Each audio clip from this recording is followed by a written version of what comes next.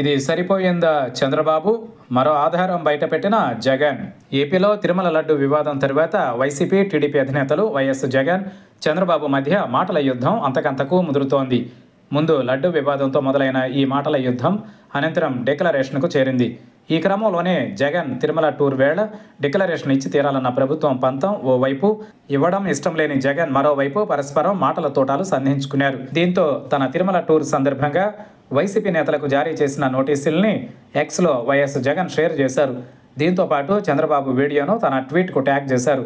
అంతటితో ఆగకుండా దీని అర్థం ఏంటని చంద్రబాబును జగన్ ప్రశ్నించారు. ఈ ఆధారం సరిపోతుందా అని చంద్రబాబును అడిగారు. చివర్లో సత్యమేవ జయతే అని మరో ట్యాగ్ను కూడా దీనికి తగిలించారు. తద్వారా నోటీసులు ఇస్తే చూపించాలని చంద్రబాబు అడిగిన ప్రశ్నకు జగన్ సమాధానం ఇచ్చినట్లయింది. ఈ ట్వీట్లోనే మరో ట్విస్ట్ కూడా ఉంది.